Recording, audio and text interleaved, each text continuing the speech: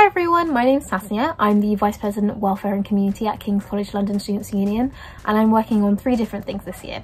The first thing is welfare on a department scale. Sometimes I feel like there's not a lot of low scale support um, within departments so you can kind of just talk to someone if you need any help.